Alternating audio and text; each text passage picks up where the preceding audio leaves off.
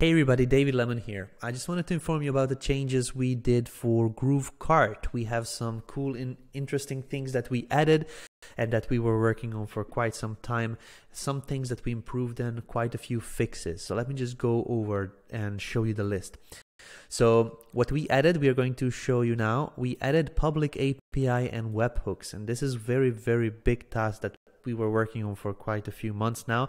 This is now available for each and every store, and that means that we can now connect GrooveKart to third party platforms and you can do it yourself through webhooks and you can also uh, get platforms or software companies and you yourself could also design um, programs and apps that could work with GrooveKart. So let me just show you how to get to webhooks and API. Once you're logged into your store, you go to settings in the left hand sidebar, choose API and webhooks. There's going to be two things that we did here, and one is the options to create new API keys and create new webhooks over here. But we also have created documentation that you can find from the screen over here. If you click on the documentation, you're going to be shown the actual do documentation needed to understand what this means. This is more for the people that are creating connections through webhooks and APIs. If you are not familiar with what these mean, you don't have to know. There's just some more uh, more advanced stuff for those of those users that want to connect other platforms to GrooveKart. So webhooks is for sending information out of GrooveKart. Like if somebody has a, a, purchase, if you want to send that purchase and record it in your Google Sheets or send it to another platform or to a shipping fulfillment company, you can do this through webhooks now. And API is to send and receive information from and to GrooveKart. API is going to be used to develop different apps with different companies like for for drop shipping and for for other types of things where those apps are managing the information within GrooveKart and also sending out information from GrooveKart. So that's now available. We have full documentation and I just wanted to show you very quickly how it works. If you want to create a new API, you click the add new API key over here and then you just uh, select the things that you want to do. So if you want to do some carriers and things like that, you can add, delete and stuff like that. Make, uh, give it a name, give it a description, and then you just click save in the upper right hand side corner over here. Similarly for webhooks, this is, this is the same kind of layout. For webhooks, you can create webhooks um, either on the screen if you don't have any or just from upper right hand side corner here you give it a webhook title, you give it a URL where to send the information. You can also use login username or key and password. This is not necessary in certain cases. Some platforms require this information. And then over here, send on action, you actually decide what to do. Like, do you want to update the order, create a new product or update the product, create a new customer, update customer, things like that. So these are the options that you can manage now through our webhooks. You can create a webhook for for example, new order, and then turn on or turn off the status of this webhook.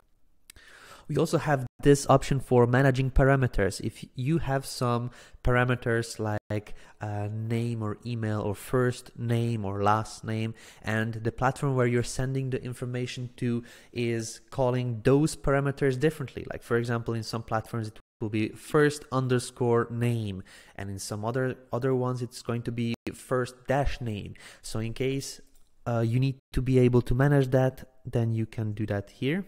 If you just search for the parameters you're going to see the name. If they call it full name for example full underscore name then you can click the change and it's going to change it for this webhook only. So you can now manage these parameters as well depending on the actual platform where you're sending the information to. Once you're ready with this one, click save and then you can go test it out.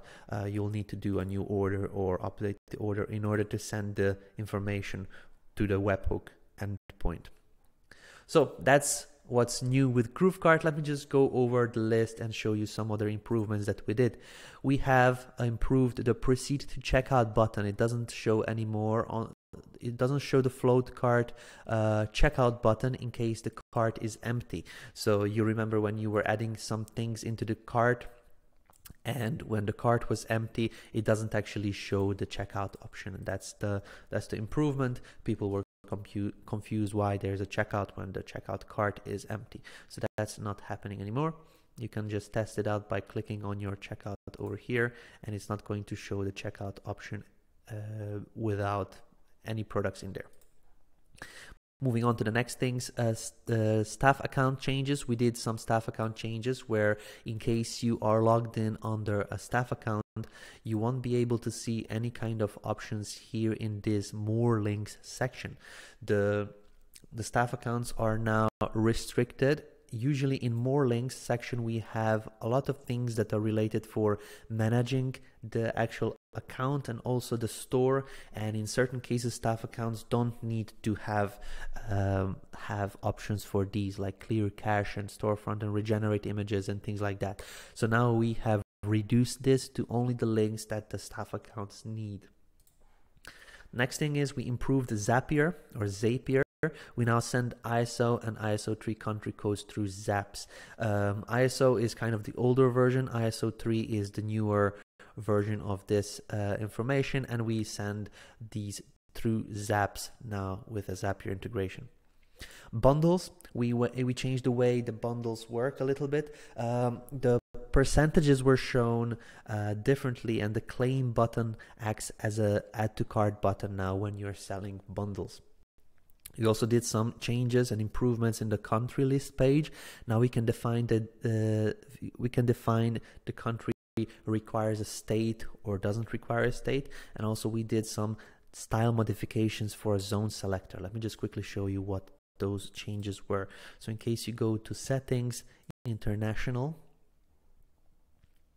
and here we go into into the zone we have done a little bit easier management of, of the selection and also you can now use these search options and you also have the bulk settings for selecting all, unselecting, disabling and uh, things like that in a zone. If we go on to the next one, bulk category management, it is now simpler and more powerful than before. So category of your products, this is where we mean category management. You can also go into your products um, and categories and then basically manage the categories from here. I'll just show you here in my products option. So when you want to put in uh, multiple products into a specific category. Previously, it was kind of confusing to do. Now we did some UI and UI changes that will allow you to to uh, to do bulk changes. For example, you want to move these and manage categories uh, to a different one. You can also add associative categories and remove associative categories through these options right now. So that's much more simpler and powerful than it was before. And we also disable the switching of the review app on and off. So this is over here um, it is now always on, but it will not show when you add when you don't add the element on the page. So the review app was something that uh, that was uh, that needed to be enabled from the apps section. Now it is always on inside the builder. When you go into the builder and you and you go into a product page, you can you can drag in a review app element. Let's just go on to this one and here we have product elements and we have different options for it. And then in the review section let me just see. Product reviews you can enable or disable that uh, through adding the element or or not adding it on the page. Let's move on. We did some fixes. I'm not going to go through each and every one of these. I'm just going to read them out. Bugs when store switch on maintenance mode by itself. We had certain cases where uh, the store switched on maintenance when you had uh, your contact form connected. Rontar integration images fixed. Some users reported some uh, issues with a Rontar integration that is now that is now done. Problem with removing associated category from product edit page in certain accounts. PayPal error $10 in GrooveKart dashboard. Manage store page issue where the stores don't show up and the page gets stuck. This was a big one. This is the manage store page where where you're actually inside the Groove um, Groove dashboard. Let me just try and go to the Groove dashboard and you went to GrooveKart and over here these stores were not showing up and when you actually wanted to enter it they the the page got stuck. Um, my address page on buyer's account uh, showing two phone fields. Some fields were not saving. You also removed the company and address line two fields. The the buyer's account is when you go over and log in to a store.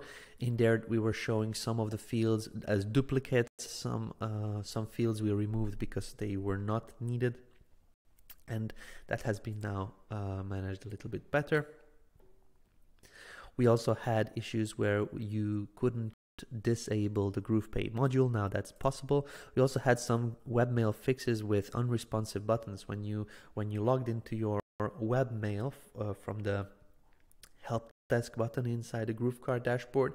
Um, some users reported that that in certain cases the buttons were unresponsive. They couldn't create new emails or reply to emails and things like that.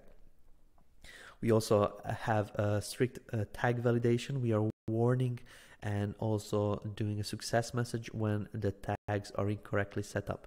So in case you have some tags and you want to manage those tags, in certain cases they were not um, we weren't giving the feedback for for those tags and now we are actually doing that when you're doing any kind of product setup let me just go into the products and show you very quickly over here managing this one in certain cases users were uh, adding tags with numbers and hashtags and all sorts of different things. Now we are doing tag validation. We also wrote here no special characters, only A to Z and 0 to 9. So if you want to do uh, red, then you can do that. But if you want red uh, and then some some hashtag or something like that, it's not allowing to actually put in just numbers. Um, Shopify uh, migration bad imports. There were some issues with bad UI in certain cases when import was happening. That was fixed. And we also had some issues with product prices more than $1,000. We disabled the separation of prices with commas and dots so it's easier to manage. In certain cases, 1000.0 was written. In certain cases, 1000.00, comma 00 was written. And um, just didn't know what to do with those dots and dashes. Now we remove those and now we just have uh, product prices managed like this without the actual extra uh, zero zeros and dashes and dots like that. So there you go, ladies and gentlemen. These are the, the things that we did for GrooveKart. If you have any questions, please reach out to us. But this is just the start of the further developments. We have been waiting for this API for quite a long time now we have it and you'll be able to see uh, more and more connections of different apps third-party apps to GrooveKart and also you'll have the power to actually send out your information and connect yourself uh, the GrooveKart store to other parties like uh, like Google Sheets and things like that without the need of Zapier and and tools like that. So there you go, ladies and gentlemen. That's it. If you have any questions, please reach out to us. Thank you.